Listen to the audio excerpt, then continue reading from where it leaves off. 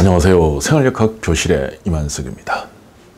어, 저한테 많은 분들이 전화로 물어봅니다.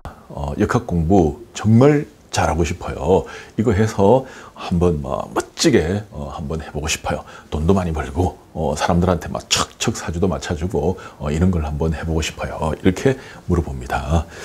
어, 저는 뭐 그런 분들 문의를 많이 받고 또 그 문의에 제 나름대로 열심히 대답을 해드립니다. 근데 이제 똑같은 대답을 맨날 하다 보니까 오늘은 어 그 총체적인 대답을 어 제가 영상을 하나 만들어 보려고 합니다. 어 그래 이제 여러분들이 문의가 왔었을 때 제가 조금 바쁘거나 그러면 일단 이제 이 동영상을 먼저 보내드리고 어 충분히 보시고 난 뒤에 어 더 묻고 싶은 거 있으면 다시 전화하세요. 이렇게 어 제가 말씀을 많이 드립니다. 자. 일단 어떤 분이 사주팔자를 배워서 나는 이렇게 이렇게 이렇게 하고 싶다라고 어, 말을 합니다. 자 그러려고 그러면 어, 여러분들이 이제 집 짓는 걸 가지고 제가 한번 비유를 해보겠습니다. 자 건물 3층짜리 건물을 내가 하나 짓고 싶어요. 자 3층짜리 건물을 지으려고 그러면 일단 땅이 있어야 되죠. 이제 그 땅에다가 이 땅이라는 거는 어, 여러분들이 이제 내 공부 한번 열심히 해보겠다 어, 이런 마음입니다. 그 마음이 어, 집을 지은 땅이라고 생각하면 되죠. 자, 그러면 그 땅에다가 어, 여러분들이 어, 집을 지을 때 제일 중요한 게 기초 공사를 해야 됩니다. 실제로 어, 건축에서 제일 돈이 많이 드는 게 기초공사라 그럽니다. 땅을 충분히 파고 어, 밑에 이제 이 골조를 깔고 뭐 내진 설계를 하고 뭐 건물을 이렇게 안전하게 어, 만드는 거죠. 그 기초공사가 어, 저는 음양오행이라고 생각합니다. 이제 음양오행이라는 거는 여러분들이 흔히 알고 있는 거예요. 목화, 토, 금, 수, 가벌, 병정, 무기, 경신, 인계, 자축, 임묘, 진사, 오미, 신유, 수레 이 글자들이 어, 일정한 법칙에 의해 움직입니다. 근데 그 법칙이 아무리 많아봤자 사실은 저는 한 200가지 이내라고 생각합니다. 그래서 200가지 이내의 법칙이 어, 실제로 돌아가면서 어, 사주를 풀고 어, 대운을 풀고 어떤 사람이 이제 문의하는 걸 대답을 할 수 있고 어, 이걸 맞추고 저걸 맞추고 이제 그 법칙이 어, 하나의 그 기초적인 어, 그런 어, 그 원리 어, 그리고 자동차로 따지면 하나하나의 부품, 어, 그리고 건물로 따지면, 어, 맨 밑에 이제 까는 그런 기초라고 생각합니다. 그래서 이제 그 기초를, 어, 여러분들이 잘 깔아놔야 됩니다. 충분히 깔아놔야 됩니다. 그 공부가 조금 인내가 필요합니다. 왜냐하면 어, 생전 안 하다가 하는 공부다 보니까 생소하고 어, 조금 여러분들이 어, 어렵게 느껴질 수가 있습니다. 그래서 이제 그 과정이 지나고 나면 그 다음부터 건물 올리는 거는 억수로 쉽죠. 예, 쭉쭉쭉 올라갑니다. 그래서 그 건물 1층 건물 올리는 거 물상론입니다. 어떤 사주가 나오더라도 그림으로 저 바다에 떠 있는 배 한 그루, 그 다음에 눈보라 치는데 나무 한 그루, 그 다음에 사막에 선인장 하나, 불볕 더위에 꽃 한 송이, 뭐 이런 식으로 자연과 비유해서 어, 사주를 하나하나 풀어놨습니다. 그걸 우리는 물상론이라 그러죠. 그게 이제 건물로 따지면 이제 1층 골조예요. 골조. 어, 1층 건물을 올린 겁니다.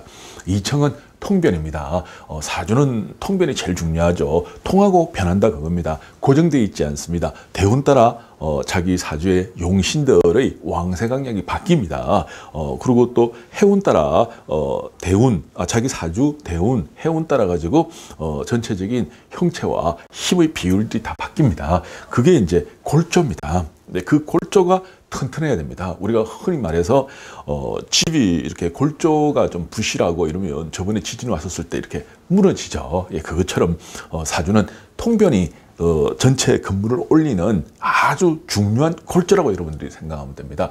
그 통변에 대해서 어, 여러분들이 잘 공부를 해야 됩니다. 자, 그 다음에 어, 통변 끝나고 나면 이제 어, 그 후에 또 건물들을 올려야 되죠. 지붕이라든지 이게 사주풀입니다. 우리가 어, 사주 통변을 아무리 잘 공부를 하더라도 실제 사주에 어떻게 여러분들이 적용하는지 뭐 이런 걸 모르게 되면 사주풀이를 잘 할 수가 없죠. 그래서 이제 그걸 어, 연습을 하는 거예요. 그래서 이제 어, 사주풀이도 한 천 명 정도 어, 여러분들이 이 사람 저 사람 풀다 보면 이제 저희들이 다 풀어놨습니다. 어, 이 사람들은 이렇게 풀고 저 사람은 이렇게 풀고 어, 요 사주는 의사도 내과 의사 사주, 외과 의사 사주 다릅니다. 그리고 배 타는 사람이라 그래도 선장으로 내가 배를 탈 건지 아니면 어, 업으로서 아주 그 힘든 그런 일을 하면서 배를 탈 건지 그건 사람 따라 팔자 따라 다 다르죠. 교사라 그래도 내가 어, 교장생까지 갈 건지 아니면 평교사로 어, 정년을 마칠 건지 그것도 어, 사주 따라 다 달라집니다. 그래서 이제 그런 걸 어, 상세하게 이제 풀어놓은 게 어, 전체적인 이제 지붕이죠.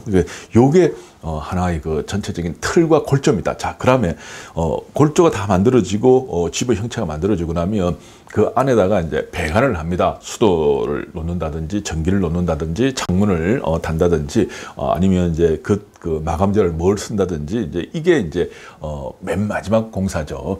이 마지막 공사가 이제 저희들은 당면 문제라고 이야기를 합니다. 당면 문제는 사람들이 물어볼 때는 어, 어떻게 물어보가니 내가 시골에 조그마한 땅이 있는데 이게 언제쯤 팔리겠느냐. 그리고 이 땅을 팔아서 큰애 사업 미천에 내가 돈을 좀 보태줄까. 작은애 아파트 사는데 내가 돈을 보태줄까. 이런 식으로 복합적으로 물어봅니다. 그래서 땅은 매매운이죠. 그 다음에 큰애 사업 밑천 재운입니다. 작은애 어, 뭐 아파트 사는 거 그건 인수 편인이죠.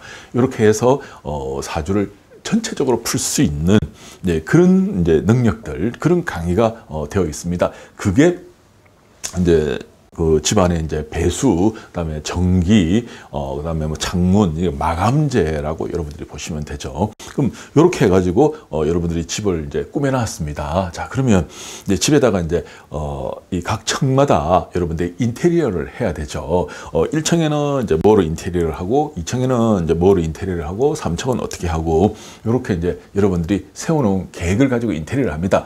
할 때 어 이제 뭐 이렇게 어 전체적인 벽은 무슨 색깔로 칠하고 뭐 요거는 어떻게 하고 어쩌고 하는데 거기에 이제 찌끼다시로 들어가는 게 있습니다. 그게 어 흔히 말해서 인상하 이제 얼굴에 대해서도 좀 어느 정도 알아야 됩니다.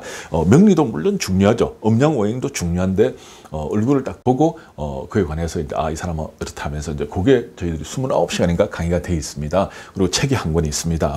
그리고 이제 풍수 어, 침대를 어디 놔두고, 그다음 책상을 어디 놔두고, 뭐 이렇게 관해서도 좀 알아야 됩니다. 그래서 이제 거기에 관해서 어, 또 저희들이 25시간인가 9시간인가 강의가 돼 있습니다. 그래서 이제 그것도 책이 한 권이 있죠. 그리고 이름도 또 지을 줄 알아야 됩니다. 책 한 권하고 동영상 강의까지 이렇게 어, 그 안에 어, 전체적인 이제 색과 배치 이제 이런 게 만들어지는 겁니다. 네, 이게 어, 역학의 전체적인 골조라고 여러분들이 생각을 하면 됩니다. 그래서 내가 이제 공부를 한번 해야겠다.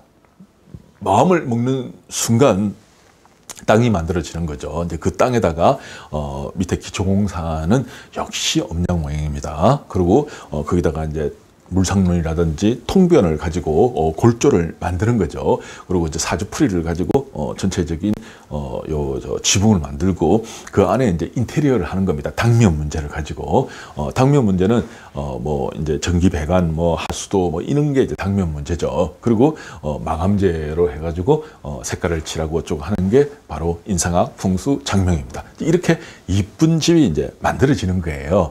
만들어지면 그 집에서 어, 여러분들이 어, 나는 어, 1층에서는 어, 조그마한 식당을 하나 하겠다. 어, 2층에서는 뭐 예를 들어서 커피숍을 하겠다. 뭐 3층은 뭐 독서실을 하겠다. 아니면 뭐 1층은 내가 뭐 슈퍼를 하겠다. 뭐 2층은 뭘 하겠다. 3층은 뭘 하겠다. 그건 여러분들의 선택입니다. 그래서 어, 저희들이 해드리는 거는 이렇게 이쁜 집을 여러분한테 지어주는 거. 그게 우리가 하는 일이고 그 집에 어, 어떤 업종 뭐 식당을 하든 어 슈퍼마켓을 하든 커피숍을 하든 뭐 중국집을 하든 뭘 하든 그걸 어떤 업종을 해가지고 어 여러분들이 어 저기 그 집을 운영할 건지는 여러분들이 판단하시는 겁니다. 그리고 이제 그걸 어떻게 운영하느냐 이거는 예를 들어서 이제 아 나는 철학관 차려 가지고 할래 그러면 뭐 그걸 우리가 흔히 말해서 이제 식당 어, 뭐업 이렇게 이야기를 하는 거고 나는 철학관보다는 교육을 할래 그러면 여러분들이 어, 그 공간을 어, 배운 걸 가지고 교육적으로 나가면 되는 겁니다. 안 그러면 여러분 하시는 일하고 어, 오랫동안 하셨던 일하고 이거 접목을 시켜가지고 나 일을 하려 하면 그걸로 또 나가면 되는 거예요.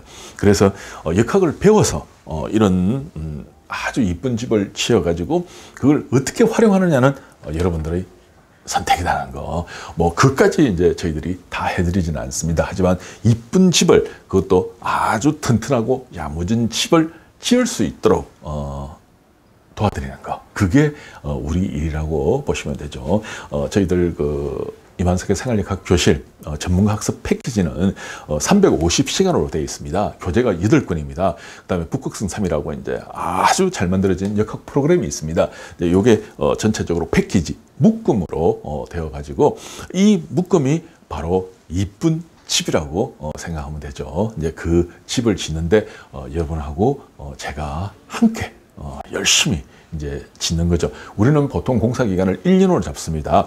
하루에 3시간씩 공부하면 1년 정도로 어 1년 정도면 집을 충분히 지을 수 있다고 어 말씀을 드리고 또 실제로 수많은 사람들이 그렇게 짓고 있죠. 근데 이제 여러분들이 예를 들어서 이제 깨어름을 피우고 공부를 안 하고 그러면 1년이 2년이 될 수도 있고 2년이 3년이 될 수도 있습니다. 그거는 공부는 한 만큼 잘하기 때문에 뭐 공부 안 하는 사람을 제가 뭐 어떻게 하겠습니까? 그래서 이제 어 보통 하루에 3시간 평균 어, 쉬지 않고 매일 하면 1년이면 충분히 어, 집을 지을 수 있고 역학을 여러분들이 잘할 수 있습니다. 자 이제 어, 사주팔자 잘하고 싶어요. 그냥 잘해지는 게 아니고 이런 노력들을 통해서 어, 잘해진다는 걸 제가 집 짓는 걸 어, 통해서 여러분한테 는 설명을 드려봤습니다. 어떻게 도움이 되는지 모르겠습니다. 자 감사합니다.